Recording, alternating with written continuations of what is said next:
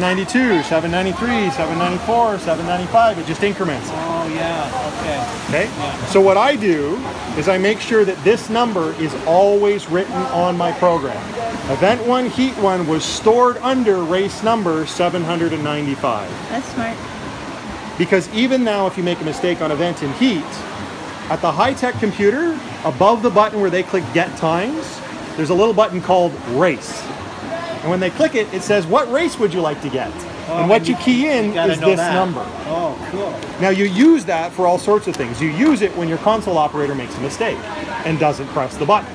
No problem, I'll get my race number instead. Because you stored four races as event one, heat one, but they all have different race numbers. So No problem. recovered. It doesn't say it on there, only on the tape. Only on the tape. So we could have recovered it had we known enough to know. The other thing I do is what happens when you combine heats? Right, so I've got two 10 and under 100 Yeah. meter flies and two girls. Heat six and seven are going to now be combined.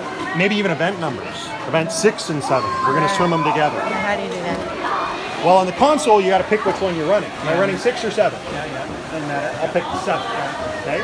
But on the computer, they're going to try and get results for event six. How do they do that? Look at the race. They do it by race number. And what happens? Four results come in, but you ignore two of them. Because in event six, you only had two swimmers. But you swam it with four swimmers in the water. So when you get by race number, you get results for four swimmers. But it matches up the two that matter and it throws away the other two. And then you go to the next event and you pull the same race number again and it gives it to the other two swimmers and throws the other half away. Say this again. Yeah. So, the scenario is event six, heat one, okay, only has two swimmers. So I'm going to put them in lane two and lane three. Event seven, heat one, only has two swimmers. So I'm going to put them in lane four and lane five. Okay? And I'm going to swim this according to the console as event seven, heat one. Okay? But all of this is going to be stored under a race number. Yeah. Okay? Now, when you go to get this from the computer, the computer either gets by this identifier or this identifier. But the computer wants to get times for these guys. And in most pools, what happens is your poor operator types them in. I think that's what we do. But you don't need to Yeah, now that I'm because they're both stored under race number 797. So what you do is you go to this in Meet Manager and you get this race number and it's going to pop up in warning. The warning's going to say, but I've got four times. Are you sure you want to do this?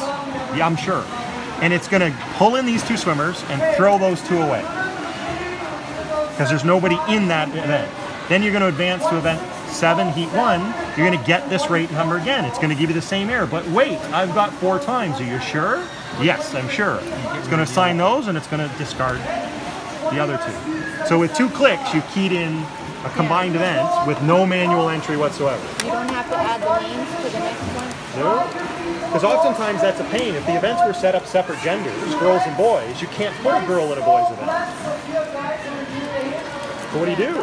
You go and reconfigure the event to be mixed gender, and then you're doing setup, and you know it's a pain. I'm new at recording score too, so So knowing how to do that knowing that's saves you a ton of time. nice.